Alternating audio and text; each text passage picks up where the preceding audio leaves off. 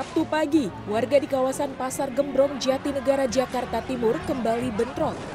Mereka saling serang di tengah jalan Basuki Rahmat dengan lemparan batu, senjata tajam, hingga petasan.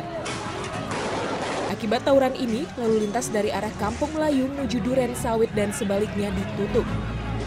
Menurut salah satu warga, meski sempat berdamai, tawuran kembali terjadi. Tawuran baru berakhir setelah polisi membubarkan massa. Oh ya anak muda itu biasa. Udah bisa di ini, udah pada tanda tangan ini, udah sepakat damai, udah bisa juga. Udah. Sabtu sore, Polres Metro Jakarta Timur beserta anggota TNI dan Kelurahan Cipinang Besar Utara memediasi kembali warga di 4 RW di Kelurahan Cipinang Besar Utara yang terlibat bentrok. Hasilnya, mereka sepakat berdamai.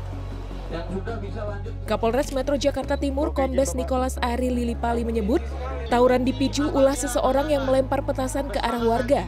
Kapolres pun mengancam akan menindak tegas para pelaku dan provokator tawuran. kekerasan dan tawuran dalam bentuk dan alasan apa pun. Poin dari deklarasi itu apabila ada kejadian serupa maka pihak berwajib akan melakukan tindakan tegas.